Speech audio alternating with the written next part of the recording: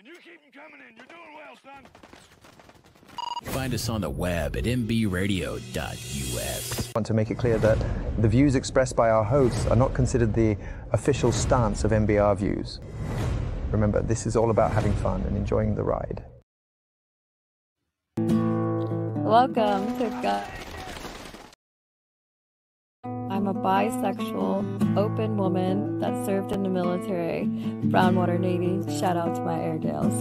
One in three veterans experience military sexual trauma. Here we use whiskey for good and talk about all different events that affect veterans and how we can do better to make sure that no one has to release their burden of rape at these gates anymore and ensure that veterans' lives are advocated and lived for. Hey! So, special thank you to Military Broadcast Radio for ensuring my fellow Amazonians that were raped or sexually assaulted in the military have a chance. Again, we have a one um, and 50 50 chance of killing ourselves after being sexually assaulted, raped, or harassed in the military. And then we are at an 80% risk after that one event of getting into domestic violence. So, this is an epidemic that is hitting the military that affects over 30,000 personnel every single year. And so today I have the great distinct honor of having a fellow uh, Navy veteran on. Her name is Jenna Carlton, a Manelian veteran. So um, just uh, kind of very excited that you're here and maybe introduce yourself for um, for the crowd here. Yes, I am so pumped to be here. Thank you. We had Audrey on Vet Chats. Wow, probably like a a year and a half ago. It's, it was a while ago, but we we just instantly connected. So I'm I'm happy to be here. Um, my name is Jenna, and I, I was in the Navy. I did weather. Um, I was in from 2013 to 2017, and when I got out, I wanted to pursue veterans uh, politics. So I did an internship up in DC at the House Committee on Veterans Affairs, and uh, I decided it was not the way I wanted to go about helping veterans. Um, so I started my community called the Millennial Veterans, and uh, we have a Facebook group. I have a podcast, and I recently published a workbook, which I'm sure we'll get into all of those throughout the chat. Yes, yeah. So I'm just gonna throw it up here so you guys can see this beautiful uh, the millennial veterans. Uh, so that's our her Facebook chat, so you can check it out there. And then uh, here's Jenna's beautiful uh, dress whites. Uh, if you guys have not been in the Navy, that is one of the hardest uniforms to keep clean. Period. I mean, it's iconic. It's beautiful. I wouldn't trade it for another uniform ever, but it is. Um, it's it's hard to keep clean. So just wanted to make sure that you guys recognize her greatness there as a petty officer. I love that. And and that was taken during Fleet Week. So we were in New York City and it was super hard to keep it clean walking around there. I mean, like I just if they were like there one aspect of their like, do you you know you I always had like when I went to an amphibious unit, I got to wear camis. So mm. it was like so, and this was before we were in green camis. So this was before these, you know, the blue uniform came out. That came the year I was getting out, right? So I was just like, yes, sign me up for ironing sleeves any day of the week over having to to wear that because um, I loved it, but it was so hard to keep clean, um, so hard. So at the Gunslingers Tavern, we're usually slinging some drinks, and um, so you know I won't have you drink bourbon um, this early in the morning. But um, so do you have a favorite song that when you joined the military you really liked?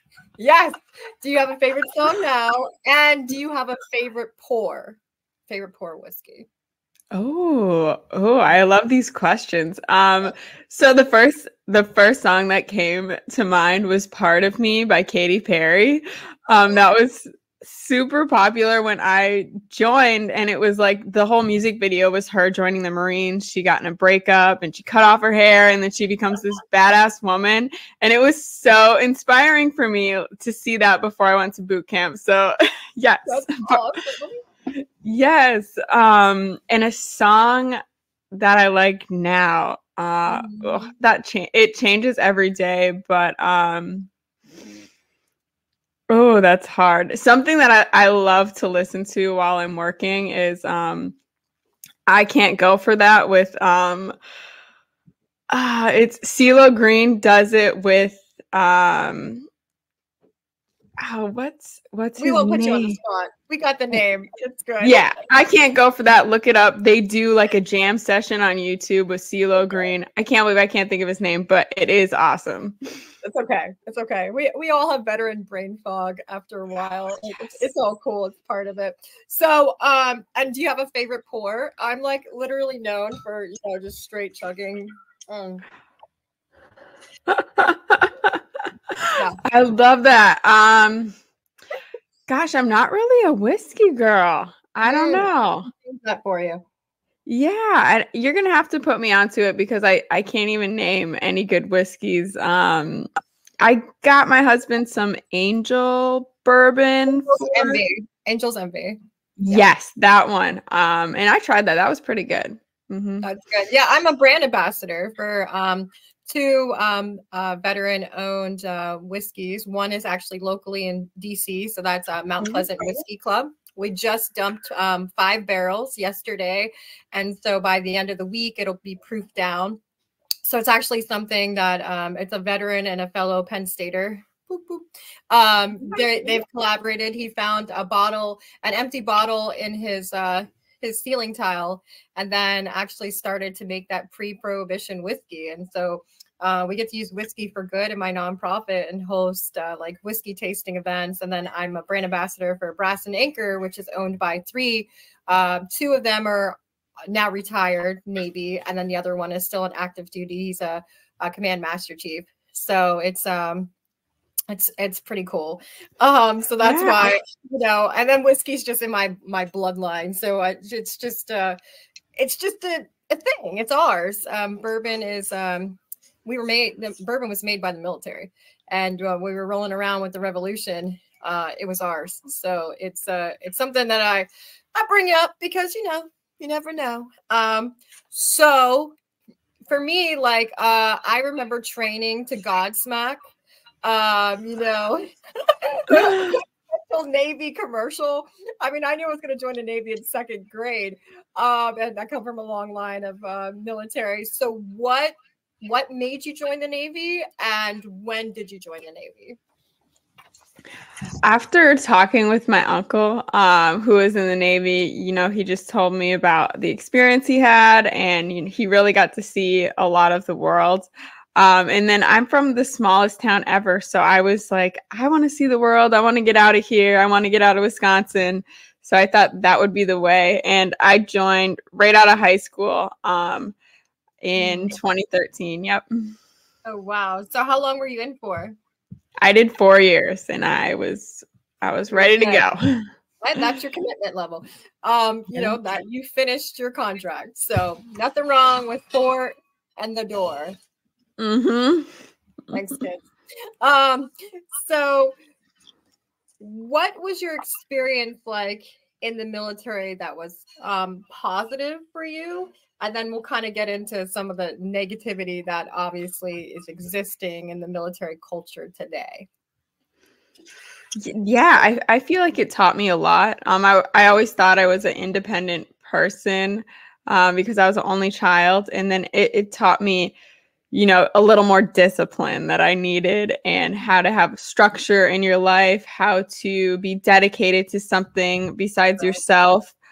And, um, you know, I, I love, I met the coolest people from all over the country and all over the world, really. Um, so those were some of my biggest takeaways was just finding out and meeting people from different cultures and backgrounds and, and ways of life i loved learning about other people's upbringings Yeah, I would say the the military is like that that true family that no matter what, like as soon as you find out that they're military or um, that they're in need, like you automatically will be willing to help them or just you're you have a connection that it's just different. Like it's it really is a brotherhood and sisterhood that crosses generations. Um, there's there's no other way to explain that bond other than you have to go join the military to get it like i just don't i don't know it anyway. so all right so I have um you know, I was raped in the military over 10 times. I was sexually assaulted multiple times. I was sexually harassed by my chain of command.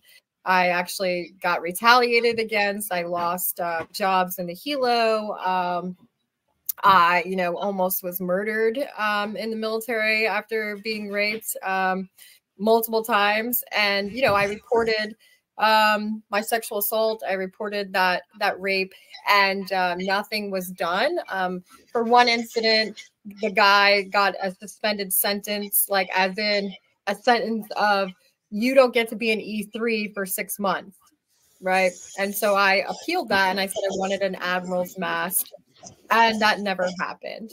Um, so I wonder, you know, did you experience military sexual trauma? Did you experience any rape or harassment um, or sexual assaults in the military? And if it happened to you, um, were you like me, just witnessing it everywhere? I was experiencing this myself and seeing this in my chain of commands at the command I was stationed at.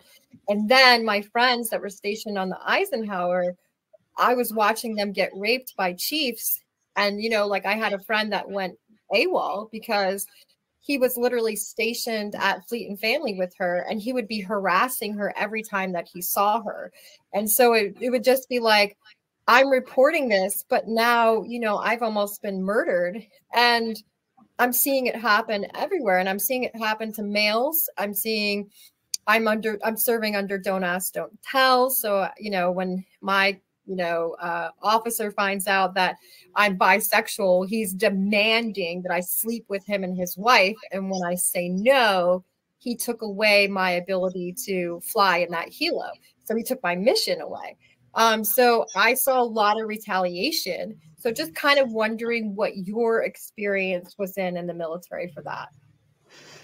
Yeah like like yourself it it was everywhere and it started right in at a school. As soon as i checked in there was a captain's mast for uh an air an airman. She was an airman who was raped uh, on the base you know and everyone was saying oh she just woke up with dick remorse that's not what happened and that's the narrative and you know i was so naive and and you know, I didn't understand it. So even a part of me believed, oh, maybe she was just drunk because I didn't know any better at the mm-hmm. time, even though in high school that had already had already been sexually assaulted. I think a lot of us who were are in denial and then, you know, we want to believe like, oh, it was it was it's almost easier to believe it was my fault for putting myself in that situation than to believe that someone is that cruel. Um but anyhow that yeah that's that's so complex but yeah, that kind of set the tone for the rest of my my time serving. You know, it was a lot of comments. Um, we're wearing camis, right? Uh, and you wouldn't believe the amount of times I've been looked up and down and just felt like a piece of me. And then I was on a carrier. I didn't even want to go in the gym. I wouldn't go in the gym unless it was really early morning or no one was in there and I was on night shift because I was just like I hated being looked at like that. I still today I I'm like conscious about wearing tight things and who I'm around. Um but yeah, I had my first um I was sexually assaulted in my A school and um I didn't want to report that person because they were my friend and you know they were they were really apologetic about it and I also had a boyfriend at the time so I didn't want to share my story because I didn't want you know everyone to know what happened. There, there's so many reasons why people don't want to report and and yeah i was i was just like okay he was truly sorry it was a one time thing and then years later my friend calls me and she tells me that she was raped by him so um it, it's almost like i i've carried this guilt and about not reporting that's not your fault right like um the fact that you didn't want to report is it, that that's your choice, right? And so then he made a conscious decision to continue that perpetration of crimes. So I would just encourage you not to hold that trauma space, you know, and and I mm-hmm. say that we don't hold trauma, we hold memories of crimes that were perpetrated against us. And so kind of like when we go into that space and kind of realize that no, like this is a crime that was committed against me. I don't have trauma. I have a memory of somebody being a complete and total fucking piece of shit in this world. Mm-hmm. And so um, that's just my my only um, caution and advice to you. And I, you know, I can understand and and relate, right? Like they always want us to carry what they did to us and to silence us and to shame us into one not reporting or one thinking that it's our fault or having the clothing we were wearing or drinking as to to as for us to acknowledge what their crimes are and so mm-hmm. um that's the only that's the only thing i could say and and it's definitely not your fault and even if you would have reported it at the same time we're we're serving uh the chances are he nothing would have happened. like yeah. Yeah, yeah, you're so right. I I've been I've been working on that, and that I really mm-hmm. appreciate you saying that. Um, because just hearing it out loud, it really it really helps. Um, trying to let go of that, and and I love the way you looked at that because really it is a memory of a crime that was committed against me, and I think that's very powerful to say it's a crime because that that's what should hold that person accountable. Um, so so yeah yeah i'm i work i'm working through that. Um mm-hmm. and then there's there's like um a few other things that happened to me that i'm just not ready to talk about. Um you know i've recently just kind of accepted that they they were crimes against me you know they that they were mm-hmm. sexual abuse because sometimes we just make excuses for people um and you know it, it takes time i think it takes a lot of time for survivors to come out and really understand what has happened to them yeah i mean i would say that as warriors as we continue in this journey of healing right um, i was raped over 10 times from 2004 to 2005 and then got into you know a horrific abusive marriage which when we're 80% likely to have that happen it happened right after. Uh, there was no time you know i felt worthless. I felt like nobody's going to want me. I've been raped this much and then i get into an abusive relationship. Like literally the day after i get married i get punched in the face and i'm on active duty. And again i'm talking about what's happening to me and i'm pregnant and nobody's helping right? And so like a lot of us get into narcissistic abusive relationships right after this trauma and there's really no help in any of the military to kind of address this. But the, the what they try to do is make sure that we absorb all of the pain. And it's taken me over 20 years to be able to speak publicly about it to share my story um, and i can go into graphic detail right and that's still something that a lot of people are too triggered to do and i think that mm-hmm. everybody is healing in their own way but i also feel like for me like they try to label what happened to us to make themselves feel better or even society feel better so mm-hmm. i feel like when we're when we're raped or sexually assaulted and i was sexually assaulted in a school too and sexually harassed you know by my recruiter before even getting in and then as a jew faced racial discrimination. I was not expecting any of these things in the military. And then, you know, I'm bisexual and now I'm facing that as well. So it was just like, what what the fuck did I just step into? All I'm trying to do is serve my country. Is they tell us that we're victims. And then they label it next as, well, you're a survivor right? And so, and then you get to be a warrior. And so for me, it's like, no, you get to be an Amazonian. You get to heal in your own right, and you get to put the words to your pain. Nobody else gets to. And I really feel like um, being able to call them crimes, being able to call them perpetrators is very significant because we have people that work in the federal government that were military or are still in the military that are promoted and they're rapists. And they continue to con- have this good old boys club where they're protecting these rapists. And we the people that have had these crimes committed usually get out right? We we have no more desire to stay in the military. Um, I was supposed to be in for 20 years, right? And so this definitely impacted my whole rest of my adult life. Like I joined when I was 19.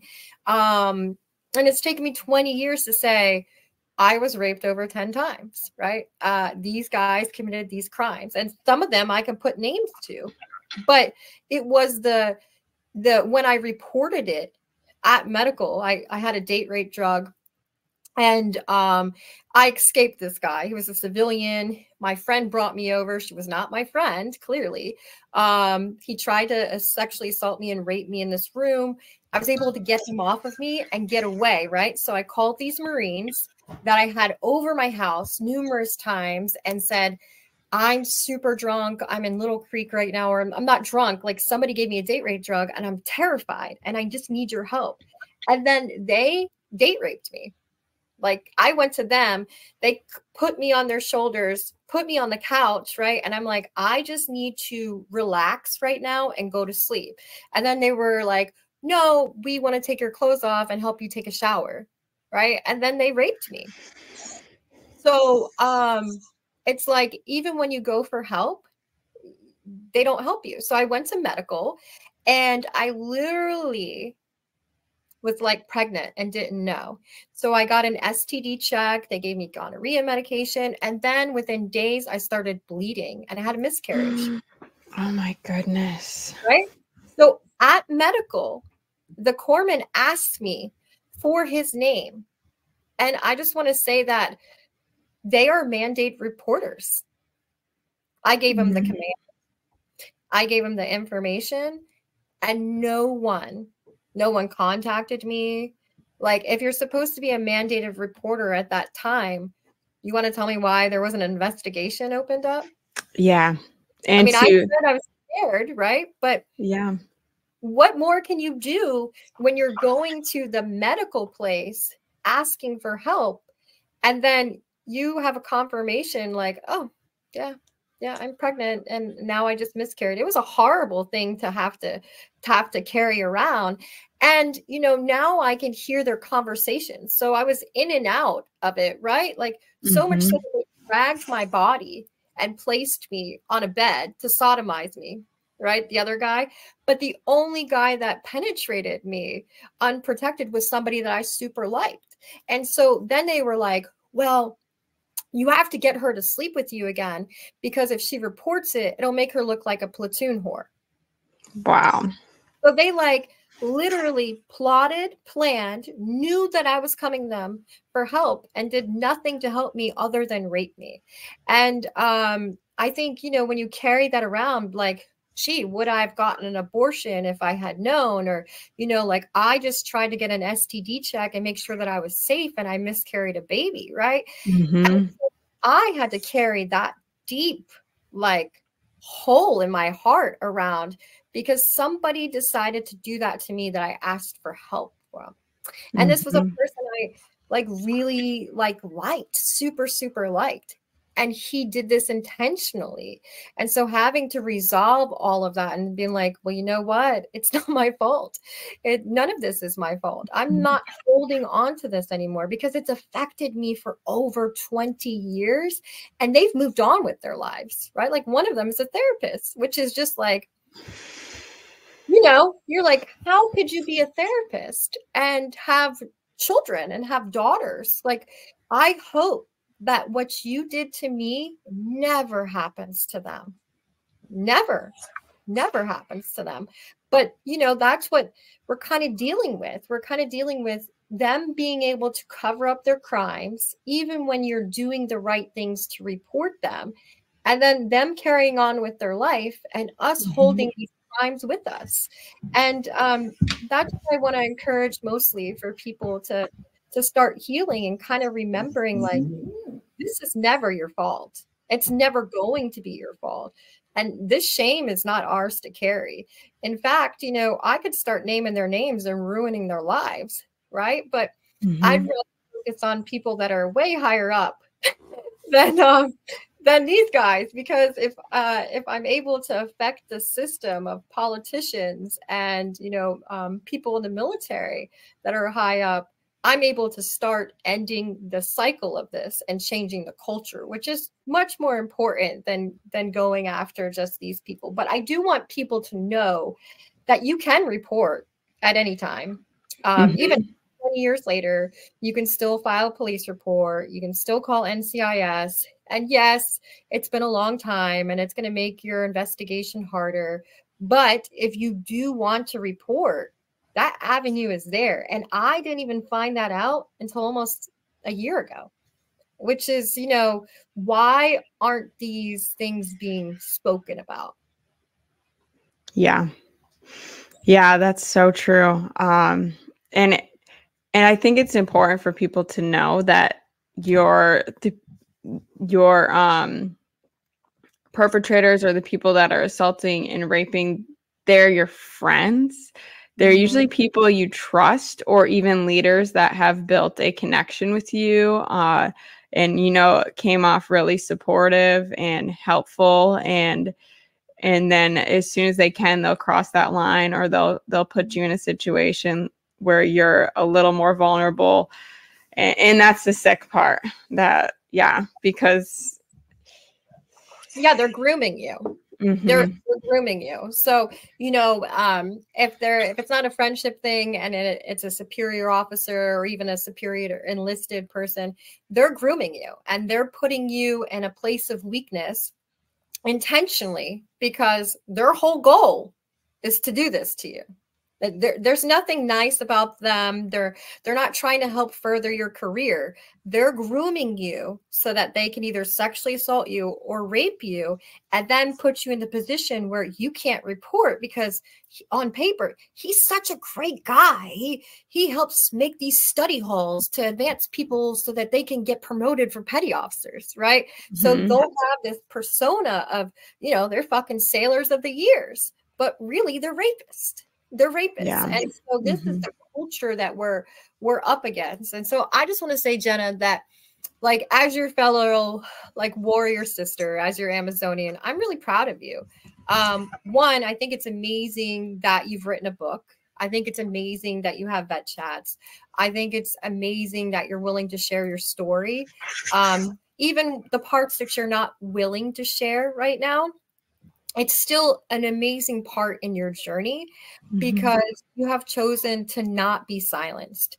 And I think that breaking the barrier of silence and not holding the trauma, and even if it's just in your own mind, holding them accountable for the crimes that they've committed against you is um it's inspiring right it, it's inspirational so i just want to say thank you for for that part of sharing that part because people act like this is a a women only issue and it's really one in three in the military and it has no sex it has no gender it has no religion. These are just perpetrators targeting people and allowing crimes to be committed in the military against your own which is the worst kind of feeling because you join the military because you want this sense of brotherhood and sisterhood.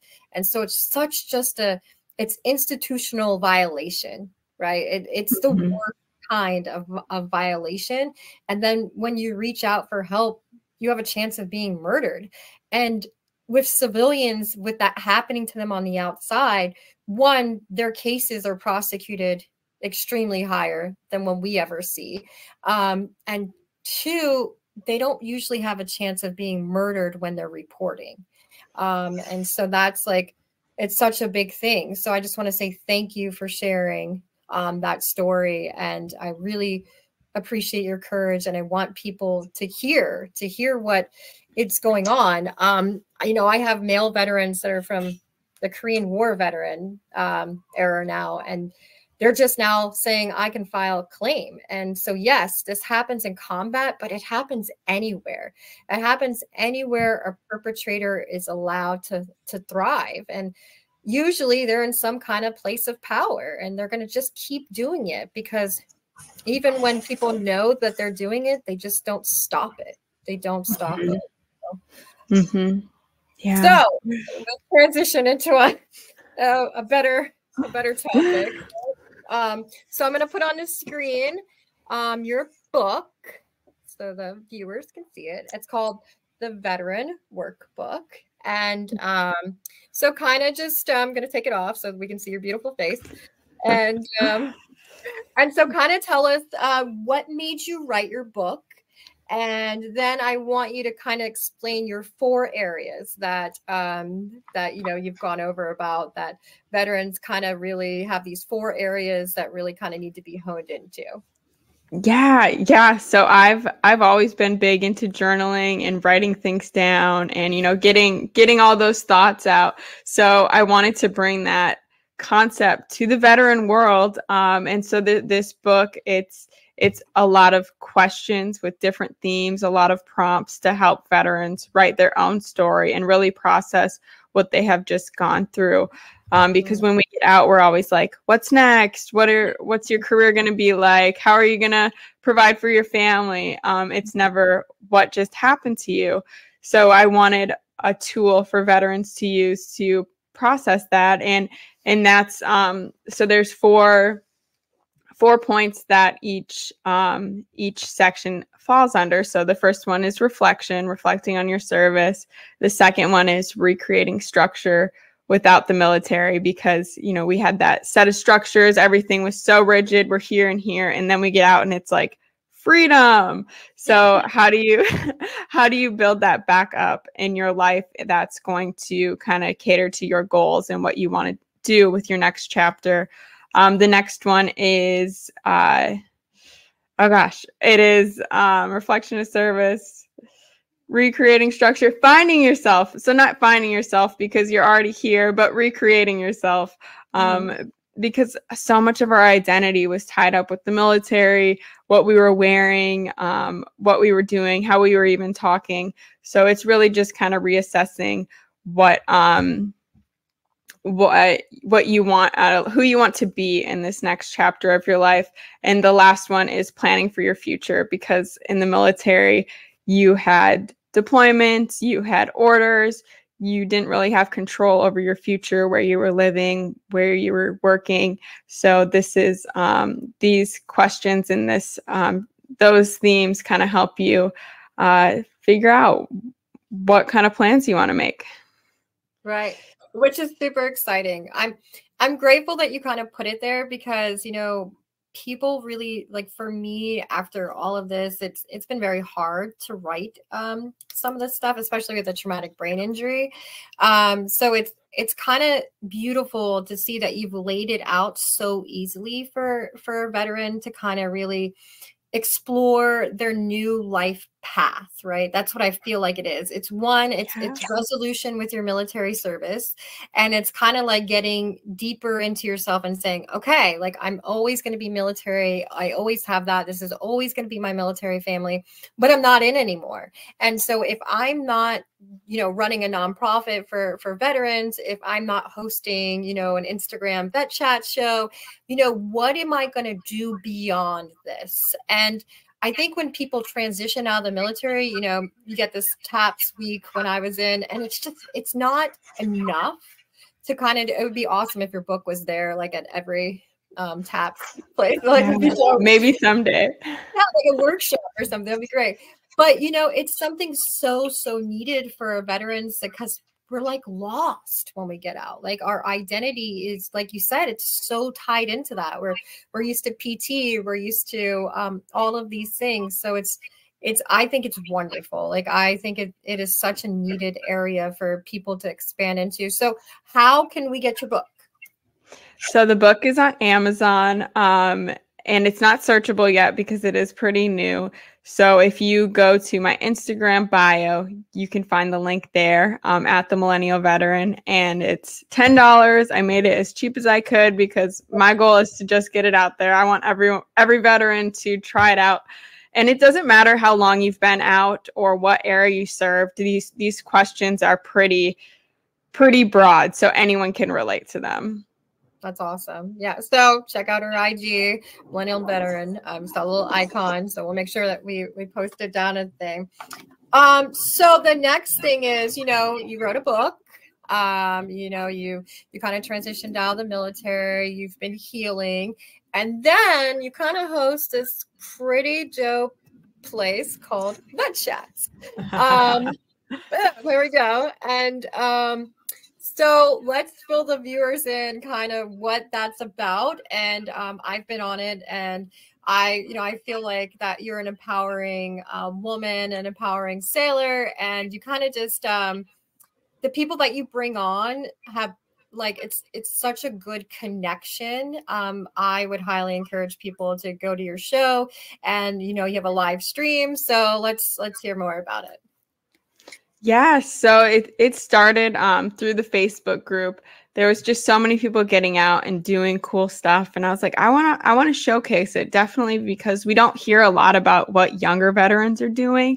So i wanted i wanted to dedicate a space to them to see how they're continuing their service and how this generation you know we care about veterans issues. We want to make the veteran community a better place a more diverse place that's welcoming to all veterans of different backgrounds not just those who have been accepted at every American Legion and every VFW. We we want we want to amplify the voices of those who are different and and don't feel accepted in the veteran community so others will and and that's what we do and we're on instagram every sunday at 9 p.m eastern time um, we're chatting and we always welcome questions uh, and, and the live is a lot of fun because you get commenters and yeah, it, it's a good time.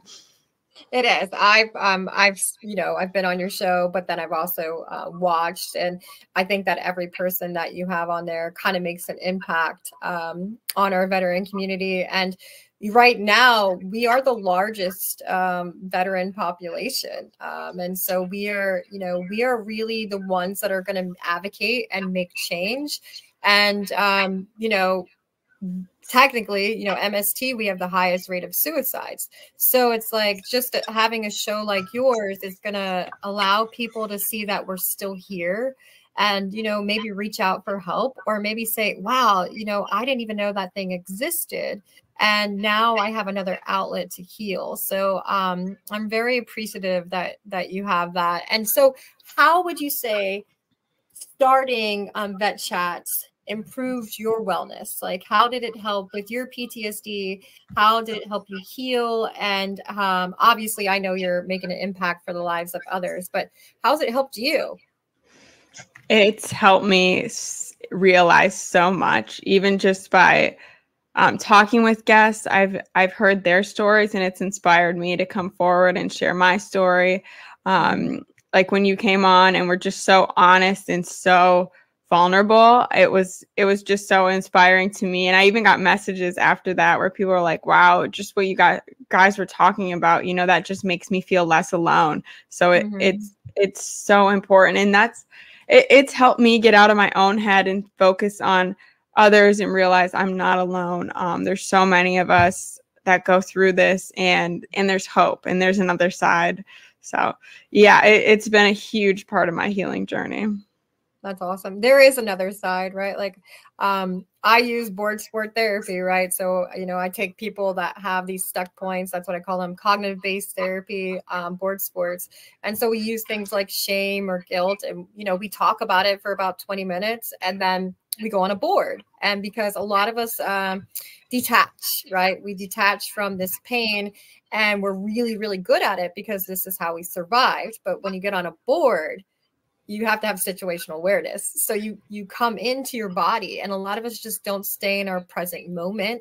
Like we're always in the past or we're thinking about you know this horribleness that can happen in the future. And so it's a way for veterans that can actually stay in um, in our present moment. And so that is very healing for me. Like um, even when i have people contact me that have just been raped in the military and that's extremely hard to hear somebody at 19 having that happen to them when it happened to me at 19 and that it's still happening and like you know the numbers are too high. And um, i'm like this is insane or somebody's been murdered because of it and then you don't hear anything about it on the news and you're like this is this cannot continue in this manner. But to hear other people heal, right? Like writing for you is obviously very therapeutic. Um, there's art therapy. There's I do woodworking. Um, you know, there's singing for guitar for vets, right? There's so many different outlets for us to be able to heal. And I think that it's good to explore it, right? Because when we have triggers, just because one of the toolbox things didn't work doesn't mean that your toolbox has to stay empty. I call it like having an ammo canister, right? And so you just got to keep filling it up to find the things that actually work for you. And I think that the more we talk about our mental health, uh, the more that we bring awareness, the more that we're just honest with each other, because I think, you know, for someone to say, yes, I have suicidal ideation, I do right? Like that is part of PTSD because I had mm-hmm. horrendous crimes committed against me. But that's no different than my brother and sister who is experiencing combat PTSD because they're experiencing that same level of like, I don't want to fucking be here, same thing. So, like, how we unify with each other and keep going forward so that we can beat PTSD together, I think is so, so important. And using our platforms, one, it's healing. Um, I don't really get bothered at all about talking about what happened to me now because I've kind of released all of that. It took a long time. Mm-hmm. It took like an intensive um, IOP, six months and two weeks. Uh, it took a lot of exposure therapy. I did that myself.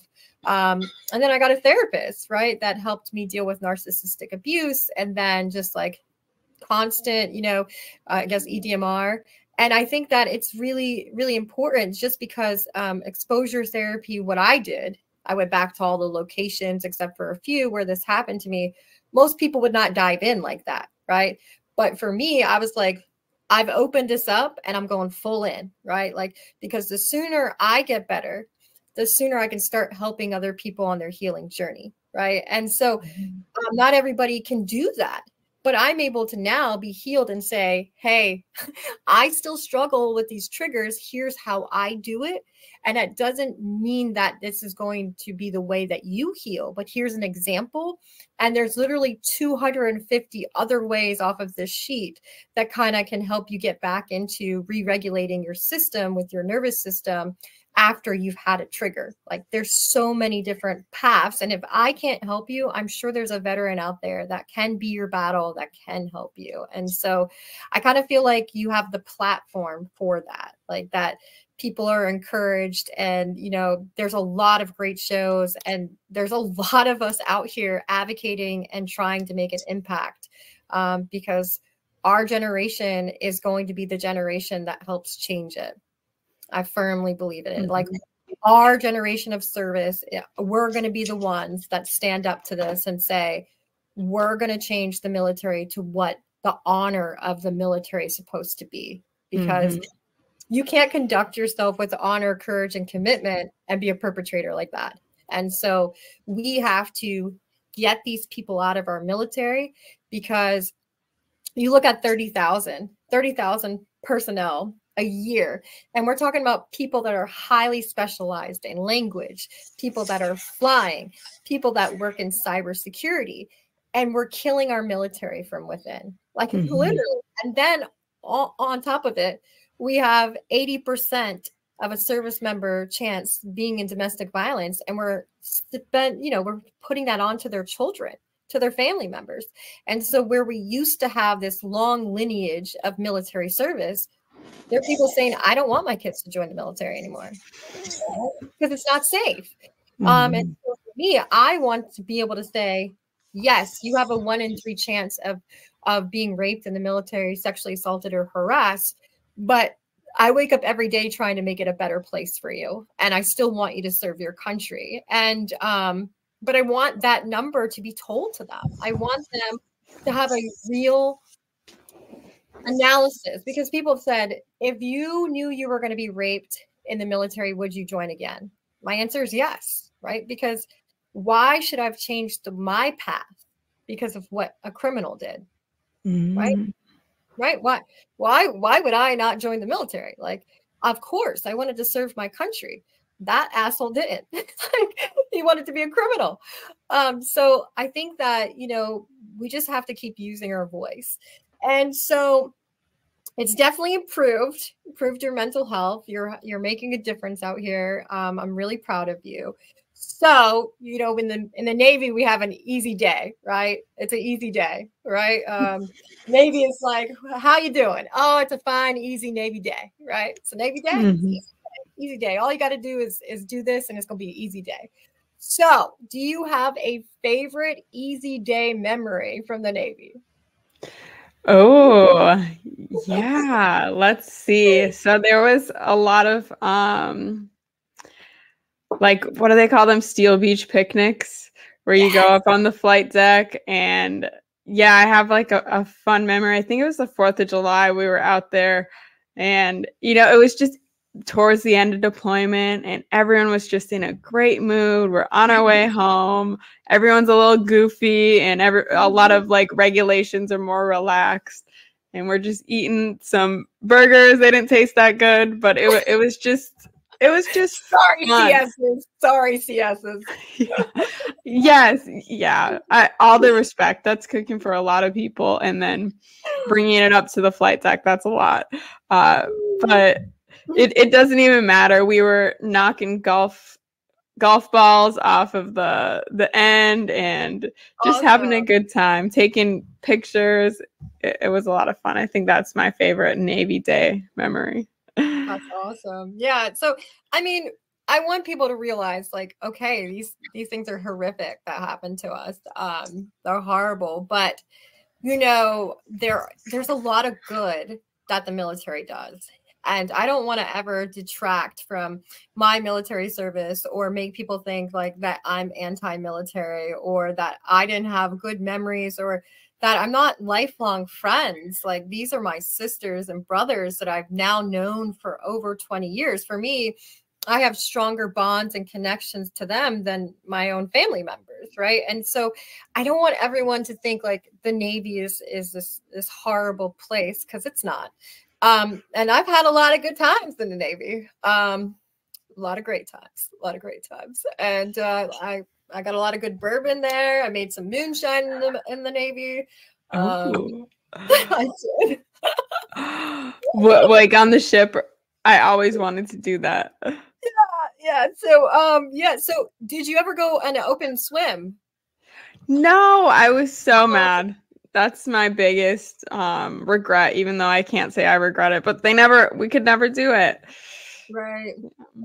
Yeah, a lot of people don't understand what that is. So, you know, like um I drove like uh, landing craft boats or patrol boats. And so like our our amphibious unit was a you know then attached to a bigger bigger one and I was with a squadron. So my Navy experience like for a carrier was me going to visit friends, right, on a carrier. And I was like, and I was stationed on the um the Churchill very, very shortly, a destroyer, right? And I had no desire to be on a carrier. Um, you know, I I did.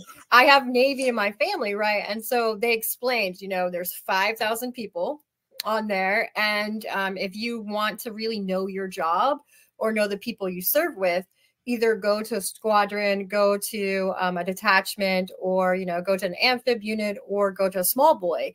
And like you'll either love it or you'll hate it, right? Because you're going to know those 181 people like back and front, right? There's going to be nothing. But then they were like, you'll find people that are on a carrier at the same time and they don't even know each other, right? Yep. They know Mhm. they know their section of people, but they they they don't really, you know, don't know each other. It's like a huge city. And so I was like, well, I don't really want that experience. So what made you pick a carrier? I didn't get to pick. I was just so so whether we just were um sea duty. So I was just sea duty and then we're Mm. not attached to a certain ship. So they will we will deploy with the ship who's ever in need. So I actually got to go underway with L- and LHD, a Ooh. carrier, and then I went on a hospital ship too. So I Did you got go on the Mercy ship? it was the comfort. Comfort. Yes, I remember the comfort. I loved the comfort when I was uh was stationed in Norfolk. It was a that was a they've decommed that ship now, I, I believe, but it was a Really? I don't know. There's one of them that they took out of service and then they they have only one in operation. But maybe explain how amazing that ship is because I don't I don't think people understand exactly because the comfort is kind of like a natural disaster like um for me it's like it kind of shows the humanitarian um, part of the Navy um, and really kind of steps in you know worldwide. So not just you know if we have like you know i was there for hurricane katrina um with my my unit. So like not just it's not just the us that the the comfort help that kind of helps globally um, and i think it's an amazing mission that the that the navy has that a lot of branches don't and i think it makes us special and unique so maybe sharing that would be would be good yeah, yeah, it was really cool. And when they were recruiting people who wants to go on the comfort, I was like, I do, I do, because I knew it would be something yeah. to remember. And it's literally like a floating hospital. So mm-hmm. there's not even ladder wells, there's actual staircases. Um, they have really great cooks on board, and that ship's also haunted. There's a morgue in the basement and I was working nights. So I would go down there to try to freak myself out and walk around the morgue. It was freezing, but but yeah, we were going to Haiti. Um it was mm-hmm. a there was a hurricane that hit Haiti really bad and this was 2016 and we were on our way down there just standing by for relief in case they wanted um, the military's help and they ended up not needing the help but we were ready to take um, people from the hurricane victims on board uh, ready to you know take care of them and eventually hopefully nurse them back to health mm-hmm. yeah I, okay so first of all they needed the help they chose not to um, which is foolish on on their their, yeah. their foolish on their their um their recovery there. It would have been way easier if they utilized the Navy. Um, so how was it haunted? Because you can't just like bomb drop that. Like you can't just be like it was haunted. And so now I gotta know, you know, did you see some ghosts? Um, like, you know, what's what's going on here? Um, you know, what's the story behind uh ship hauntings? We we can't just like we can't just like let that one go. I know, and there's so many cool military ghost stories. Um, but this one, it I was, you know, I was working at nights and I would do weather. So I always have to be at the top so I can go outside a lot and check the weather. And so I was working at night by myself and I went up to there was a helo pad and then you could go up above where all the radars are. So I was walking up there just to check on the cloud coverage um, and just looking around and there was somebody sitting sitting up there uh, by by himself and it was really windy so I was surprised and I was like hey bud like how you doing? Just ignored me completely.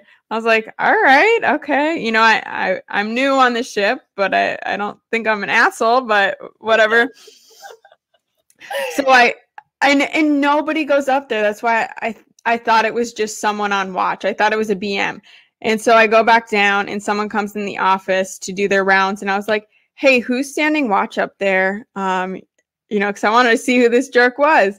And they were like, nobody stands watch up there. Nobody's even up there right now. And I was like, what? And I just had chills. I was like, wow, I wonder who that was and why they came back. Right. As a spirit. Yeah. What uniform were they in? It was so dark. I just That's I just felt like I saw a headset and they were wow. just wearing something dark. That's crazy. Yeah, that's yeah. dope. Yeah, I drove the boats from Normandy. No, no ghost stories for me. Darn. Um, but you'd think there would be. Right. I mean, I definitely felt like as soon as I got on that that well deck, I felt like I felt tingling when I got on the well deck. Um, and basically we sold it to the the Royal Indian Navy. Like we would get these.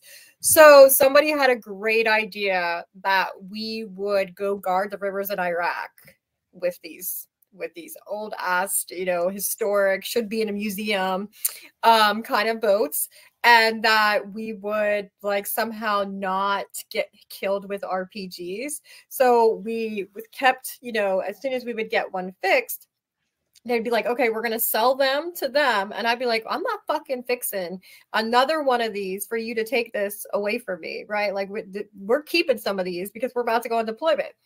And so finally, somebody higher up was like, so they're eight knots loaded. We're going to put a platoon of Marines on there. And then we're going to do what? we're, we're gonna go guard the river so that they can get killed. Um, so thankfully we didn't have to deploy. Um, I mean, you know, like because we knew, like even with a patrol boat, with the speeds that it goes, right? I was like, well, I can pretend I can outmaneuver an RPG, but we're going to be sitting ducks. With, yeah. With that one, that just felt like a death sentence, right? It just Mhm. felt like we're going to die. And um, all of us kind of knew that, but what could you do, right? Other than, okay, we we got to fix it. You know, we used to be like, we're going to draw straws. Like we literally put, you know, hands in there and like, we're going to draw straws and um hey, which one of us do you think we're going to go first, right? like Oh my goodness. Yeah, and there's n- is there even a defense system on there? Any defense was weapons? So no, um, you could, you could mount a mount a you know we were gonna mount a weapon on there, um, and so kind of just like gonna rock it with like a 50 cal. We were gonna take a platoon and like you know we are gonna have you know two with saws. Like it was just like the dumbest idea ever because it's like one um first of all iraq was completely mismanaged and fucked up to begin with and this is why we have burn pits and that administration is directly responsible for that. Um and so if you haven't filed for the PACT Act do it anyway. Um and so basically you know they were planting rpgs along the um the shoreline right? And then they were taking that um putting that there and then taking ieds and placing them um, for the Humvees to get blown up. So you know, somebody came up with a like, well, we got to stop, you know, them crossing this this river here and then being able to put the IEDs in all the time. And it was just like, well, the first thing you could do is stop broadcasting the location, Mhm. right? They would they would get on the news and like listen, I'm from Yonkers, New York, right? So if you put on the news a corner store that I'm familiar with, I'll be like, oh, they're over so and so. And so that's exactly what the Iraqi army was doing. They were like literally watching CNN and being like, okay, so here's where the third ID is. And now we're going to send in real time, right? In real time, we're going to have these guys go cross over here and go plant IEDs. And so, I mean, great concept. Uh, again, we did this, the, you know, Blue Water Navy, um, but totally tactically wrong ideas, wrong ideas. Um, so I'm glad it didn't happen because I know I'd be dead, right? Like I, we were going to be RPG. We were we were talking about RPG ducks, right? like Oh, that's horrible. yes, I mean that's uh that's some leadership for you. Um, so I mean, we actually had one of the guys when part of the the detachment went to uh Rota, they were just like the officer seriously came and said, I want you guys to start breaking things. Right? Like I know that I'm literally putting you in a path of where you're going to die. And so I'm working on it, guys, but we can't be ready yet. You know, like, and so when you have someone like in that leadership level saying, like, I see how bad this is, I'm going to stand up and I'm going to put my my military career on the line to make sure that you guys don't die. Like, I mean, it's just you certainly love that person from for for the rest of your life, and that's like where I want people to realize there are good people in the military. There is Yes. leadership, but sometimes speaking up is the best thing that you can do, even when you're fighting against a system like that's so established in the military. You have to do it, especially when you know that lives are at stake. Like, um, and so that's where I think true leadership can come at any level. Right. The, the military has trained anybody to pick up that weapon and carry forth leadership ability. And so you don't have to be enlisted or um, an officer to make that happen. You just need to be a person that's disciplined in, in the leadership and understanding the ideas and values of honor and courage and commitment. So, but yeah, that's that's just my little, you know, my little spiel there. Um, you know, so I'm glad it we didn't deploy, like, um, because um, you know, it it would have been a bloody one. Mhm. And so I'm glad that we had good leadership eventually get them to listen. But you know, the the idea came from a person that had real no military strategy or experience whatsoever in a battlefield and he sold somebody on it because he made it look good on paper. Yeah. And um, you know, that happens a lot. And so, you know, when you're when a brass approves it and now you're having to say, well, you know, so and so just because they golf with you doesn't mean they have a good idea and they're just trying to make a name for themselves in the military. You don't do that with people's lives. Like no. this is uh it's real time. So Mhm. yeah. Yeah. Yeah, absolutely. That's a great point because you can make anything look good on paper. Trust me. Right. right and you know what you know what doesn't look good on paper having to have somebody show up to your house with a flag and and a, and a notice um that's that's, That's the, the reality. a family could ever get and so that's that's the way it was going to happen because you got to imagine there's three of us uh, manning these lcus and then we're putting 12 marines or sometimes you know um, if it's a smaller boat we just need four operators. And so i mean it, it, it was just like even i think i was i think i was an e5 at that time and i like even i saw right? And even the Mhm. e1 we're all like you want us to do what? Like who came up with this right? And then we find it you know have you seen men of honor? No, I haven't. You haven't seen Men of Honor? Okay, so you have to see Men of Honor, right? It's Cuba Gooding Jr. It's it's the real story about Carl Brashear, and so Brashear, uh, he's the first amputee to come back onto active duty service as a as a, a diver. Uh, and so there's this pencil pusher guy with glasses, and he's an asshole, and he's like, "This is the new Navy standards," and uh, you know, I wrote the book on this with no real dive experience. He's just a dick. That's who Mhm. this guy was that's who this guy was like that enemy of the state like him Yeah. right and so you have to go watch it because there are people like that you know when they're like well you know i've done everything i could do i have no real experience but i'm book smart and um, it looks good on paper but i have no real tactical uh, advantage or knowledge and i'm just going to get people killed so i mean that's the that's the leadership we got to eradicate besides everything else Yep. that's going on in the military that's that's the next one to go. So I'm gonna Mhm. post a beautiful picture because I think this is uh super super great. And and so um you know again she hosts Vet Talks on Sundays at 9 p.m. Eastern Standard Time, and you can uh, kind of check her out.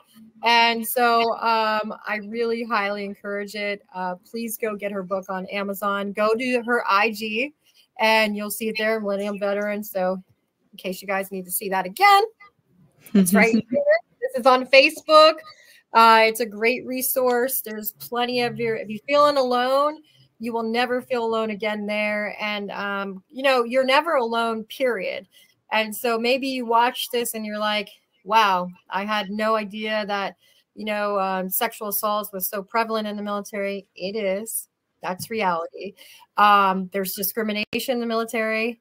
That's reality. And so we have to do better period as human beings to kind of to kind of fix it. And i just want to say thank you for coming on. Thank you for for using your voice. Um, thank you for sharing um, some hard experiences and some good ones. And i'm um, i'm really proud that you are going forth on this path and helping to empower other veterans. I think it's it's so important. So thanks for coming on Thank you for having me on. I, I really appreciate it. And, you know, you're just so much fun to talk to. And you, you make me feel so good about myself because we all have those days. And I, I really needed this. So I really appreciate you and everything that you're doing for your Amazonian warriors. And yeah. you should you should feel you should feel empowered right? Uh, that is that is Yes. our, our role to to each other uh, especially after experiencing such the similar things. Um, i always don't compare trauma right? But we went through the same shit. And um, i think that you know when we're able to say that we're going to label it the way that we want to it to be heard right? You don't get to tell my story. I don't get to tell your story but we can certainly empower each other so that our stories are heard and i think that's that's so important especially in the veteran community like we're not here to compete with each other right? Like we're here to mm-hmm. empower each other we're here to lift each other up And if I have a way that helped me heal, I can just share it, right? But I don't want anyone to be in the darkness where they put a Glock 17 in their mouth and pull the trigger like I did, you know? So Yeah. I can spread a little bit of that happiness around, why wouldn't I? You know, why why wouldn't we do that for each other? Because we've had so much against us already. Like there's no need for that in this community. Like we need to step forward with each other and be shoulder to shoulder. Otherwise, these guys who who did these things and this culture in the military, it doesn't stop unless we start saying, okay, it's it starts with us and how can we make this better? So I Mhm. thank you for your words and um I appreciate you. So I'm gonna play the closer, guys, and don't forget, you know, uh, Gunslingers Tavern. We're over here. We're slinging drinks, slinging questions, and uh, we're always here for you. So reach out if you need help. And uh, you know, I didn't put my overlay today, but there you go. Here's the last moment. I love it. overlay, y'all. Um, you know, it's all good. It's all good. And um, so again, AmazonianWarriorFoundation.org if you need help, 802-777-6722. That's that's my direct line for my nonprofit, and 988. So even if it's like I'm not suicidal, but I'm having a shitty day and I just don't feel good, call it.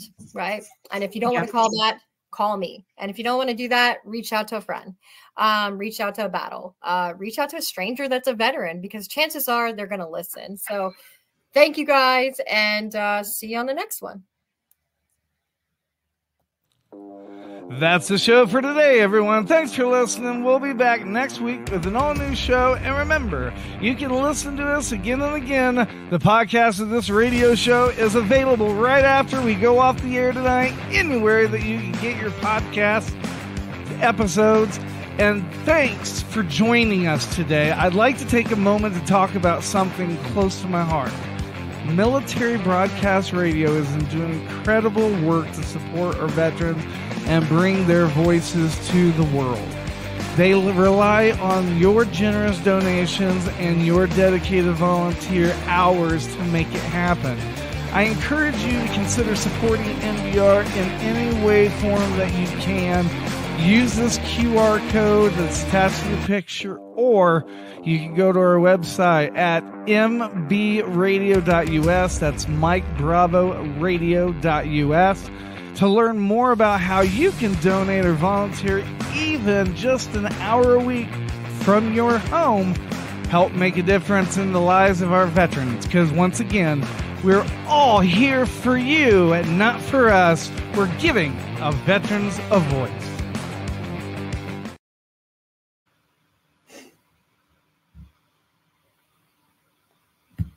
Wow.